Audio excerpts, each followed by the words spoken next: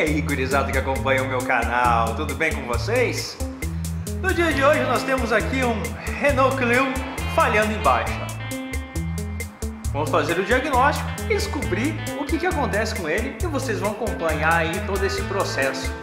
Nós vamos conferir bicos, cabos, velas e muito mais. Bora pro vídeo! Então, turminha, temos aqui um Renault Clio 1.0 de 16 válvulas, motor D4D, aquele fantástico motor da Renault aí que produz bastante pocotós e um baixo consumo. Eu tive um carro, um Clio com motor desses, era aquela outra versão com coletor mais antigo em cima, mas era um puta do motor. Carro fantástico. Uma ressalva aí. Muita gente pergunta, Marco, por que você não gosta de lâmpadas LED? Você não gosta por causa disso aqui, ó. Olha lá. O sistema todo desligado, e a lâmpada continua ali acesa. Por isso que eu não gosto de LED. Além do que, que carro com Redcam, a lâmpada LED interfere diretamente e enlouquece o carro. Mas o nosso foco aqui hoje, o carro falha nas retomadas em baixa. Nós vamos ali ligar o carro, dar uma aceleradinha, eu quero mostrar para vocês ali a falhinha que ele tem. Beleza?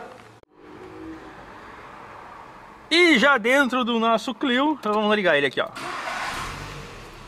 94 mil quilômetros e a aceleração, ó.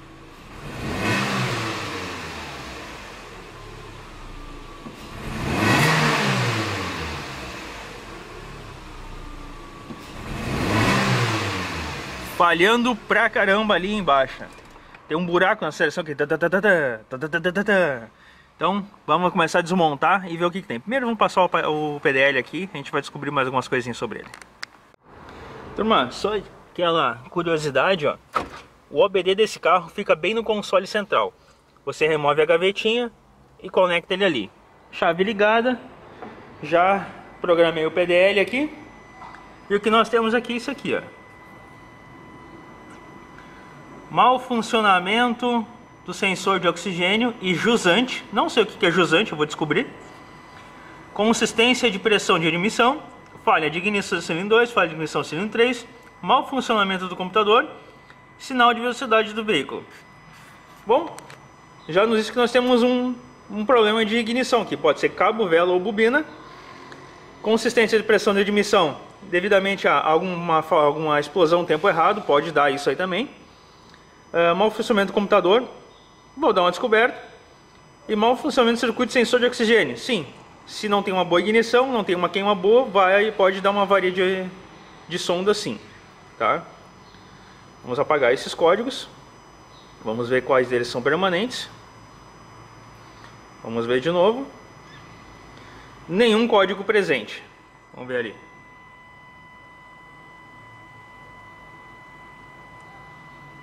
Gosto muito desse aparelhinho, mas a tela dele podia ser um pouquinho mais com resolução, né? É uma coisinha assim. Aí tá tudo certo. Então agora o próximo passo é tirar os cabos e as velas e ver o que está acontecendo aí com ele. Turma, então vamos ver como é que estão as velas aqui, ó. As velas elas estão bem gastas. Vamos ver se a gente consegue focar nelas aqui. Tá aqui, consegui focar agora. Vocês estão vendo ali, tá bem afastada o eletrodo, né? Mas o, o principal é esse aqui, ó. Ó a fuga de corrente que estava aqui. E não é sujeira, ó. ó. Aqui é uma fuga de corrente que tinha na vela, aqui no cabo e na vela, ó. ó queimadinha aqui também, ó. Isso aqui tudo é fuga de corrente. Mesmas coisas, outras velas aqui. Essa aqui já está melhorzinha, mas ó, a base dela aqui. Então, as velas aqui estão ruins. Os cabos, ó. Oxidado. Início de oxidação. E oxidado. E ó. Os cabos 2 e 3 aqui, ó. Que tava cruzando ali antes, ó. Bem oxidados, ó. Fuga de corrente. Então aqui um joguinho de cabo e joguinho de vela. Corpo, vamos ver se a gente consegue ver o corpo, olha lá. Deixa eu ver se consigo dar um zoom aqui, pera aí. Vamos lá, aqui ó. Olha lá o corpo, ó. O corpo tá sujo, tem que limpar o corpo também. Bateria, a gente vai testar a bateria agora também. Vamos dar o ok aqui. bateria automotiva, 12 volts, normal, e um CCA dela é de, a gente vai vir aqui, CCA 280. 280, é bem fraquinho. Vamos baixar aqui, opa, passei, 280.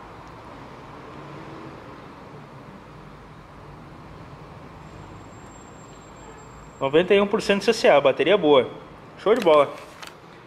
Bateria tá legal. Então agora o que a gente vai fazer? A gente vai limpar o corpo, vai solicitar cabos e velas e vamos ver como é que o carro se comporta aí. Então turma, olhando a suspensão do carro aqui, ó, está tudo bacana. Recomendaria só a troca do filtro de combustível, né? Vazamentos aqui não tem vazamentos fortes. Aqui é um meladinho que foi trocado óleo agora há pouco tempo. Aqui é um vestígio de um outro serviço ainda. Há um tempo atrás eu troquei essa coifa aqui, que sempre vaza nos Renaults, né? É, pediu para dar uma olhadinha nos freios, mas aqui, ó. Pastilha já tá meia vida. O disco tá, não tá legal, assim, é. Então vamos fazer o seguinte, primeiro gasta a pastilha que tá aqui, depois a gente troca o conjunto completo, na próxima manutenção. Ali o corpo, como eu já tinha falado para vocês, né? Tá sujo, tem que limpar. Filtro de ar também não está dos melhores, já aconselho a substituição.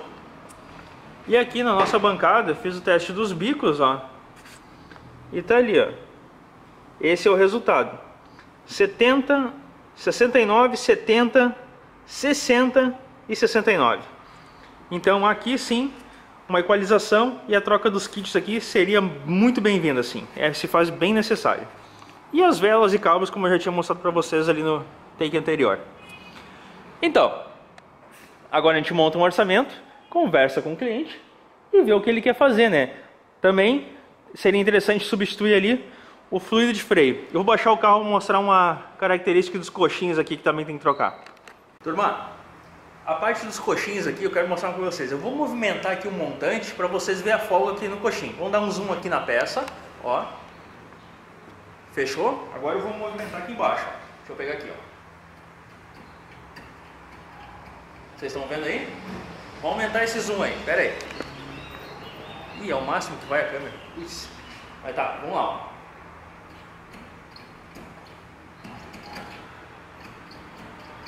Estão vendo aí? Então nesse caso aqui, opa, nesse caso aqui eu recomendo a troca do coxinho. Então, galera, vamos testar os nossos biquinhos de novo. Vamos fazer mais um sprayzinho aqui. Olha que spray bonito que tá saindo ali agora, ó. Beleza, vamos fechar aqui. Vamos fazer um teste de vedação. Pressurizou. E... Ó, tem um gotejando. Tem um gotejando ainda. É, mas vamos ver uma coisinha aqui. Vamos ver o que, que vai dar aqui. Vamos fazer um, um auto-check. Às vezes é só porque foi feita a limpeza, daí tu faz o auto-check e ele para de gotejar. É incrível isso aí. Vamos lá então. Auto-check. E aqui. É isso aí. Ó, já parou de gotejar.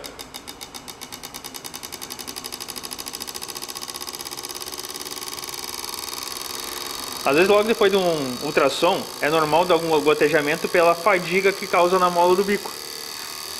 Vamos ver agora aqui.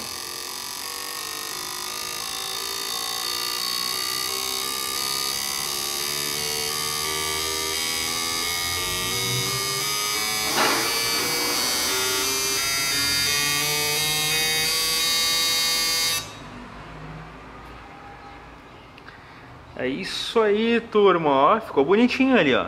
60, 61, 59, 60 está dentro da margem de tolerância, não tem mais aquela discrepância enorme. Aqui, ó, show de bola, já dá para correr para braço, só trocar os vedantes, as telinhas e ó, montar no carro. Tá aqui, turma. Os bicos já estão no lugar, já troquei os vedantes do coletor e também já troquei o vedante aqui do corpo de borboleta. Esses vedantes aqui eu tinha sobrando, então não estou cobrando o cliente, vai de cortesia. O corpo tá aqui, ó, perfeitamente limpo como deve ser. Usei um descarbonizantezinho ali, tá? Tudo certo. Os bicos já estão ali, ó, instaladinhos. Então agora eu vou parafusar o corpo aqui no coletor e botar o coletor lá no carro e eu já mostro pra vocês ali tudo pronto. Agora sim, tá aqui o bloco do carro, ó. já limpei ali onde é que vai o coletor, tá tudo certinho. E agora a gente vai instalar a peça completa já com o corpo parafusado. Então vamos lá, vamos ver se consigo começar a encaixar aqui com a mão só. É difícil. É bem difícil com a mão só. Preciso das duas mãos aí. Tchau pra vocês por enquanto. Tá aqui então, turminha. Joguinho de vela NGK. Filtrinho aqui da Mali. Mais os cabinhos NGK aqui, ó. Tá até caindo tudo aqui o troço aqui. Aqui, ó. Tá aqui, cabinho NGK. E olha a diferença dos filtros de ar aqui, hein? Coisa feia, hein? Esse aqui. Vai pro lixo. e aí, galera. Filtro de combustível novo já no lugar. Tudo certo, as peças lá em cima já estão todas instaladas. E o filtro de combustível velho está aqui na nossa baciazinha. E agora vamos correr para o abraço e montar os coxins. E está aqui, turma. Já tirei os amortecedores, está aqui o parzinho, ó. A gente vai agora desmontar, trocar os coxins. Já jogou os coxins aí também. E vamos montar os amortecedores no lugar aí. Tá aí, turminha. Sementinha ali tudo separada já. E tá aí os coxins novos no lugar, né? Coxins velhos estão ali. O que acontece muito com eles aqui, ó, gente? Vai ver aqui, ó. Eles ficam cônicos aqui, ó. Enquanto o coxinho novo ele é mais gordinho. E é esse aí que tira aquela folga aqui lá em cima. Beleza? Agora a gente vai montar tudo isso aqui. E vocês vão acompanhar um pouquinho aí.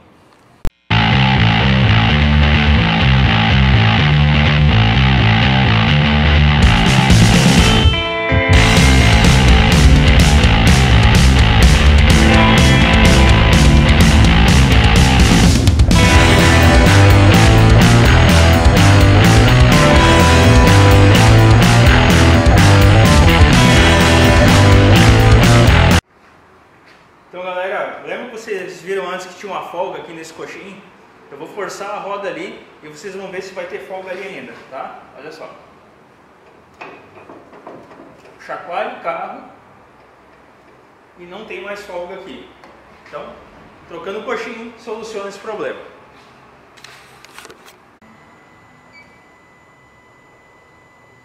Já liguei a chave lá dentro. Vamos entrar em scanner. Renault, cadê o? Renault,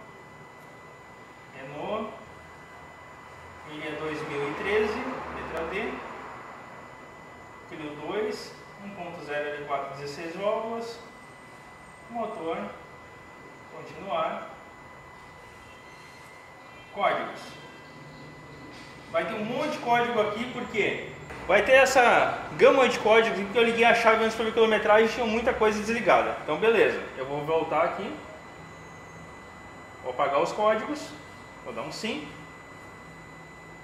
Ok. Vou puxar de novo. Nenhum código presente. Show de bola! Versões funcionais, funções especiais. Jogar a programação do volante motor. Dois mil anos depois. Programação dos limites da borboleta. Continuar. guardar 5 segundos. Comando concluído. Beleza. Adaptações do motor. Continuar. Sim.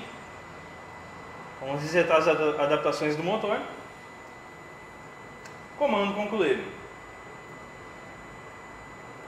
Show de bola. Então é isso aqui.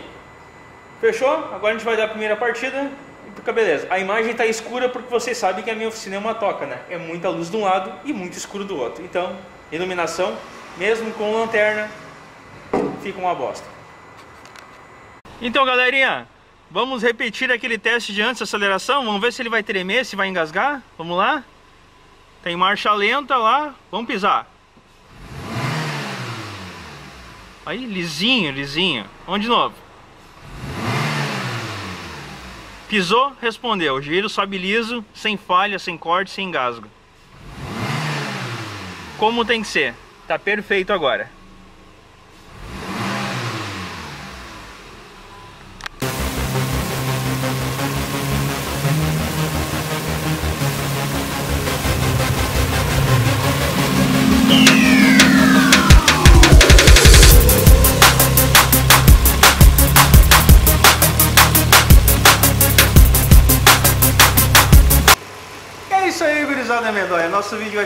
Por aqui. Como vocês viram aí, o carro ficou ó, primoroso, aceleração beleza, não falha, não engasga mais. Tá aqui funcionando bacaninha. Se você gostou desse vídeo, já deixa aquele like maroto, se inscreve no canal para a gente poder aumentar essa família cada dia mais aí. Se você conhece algum amigo que tem um que precisa de alguma edição parecida, compartilhe esse vídeo com ele. Compartilhe o vídeo também nas suas redes sociais. Até o próximo vídeo. Muito obrigado fui!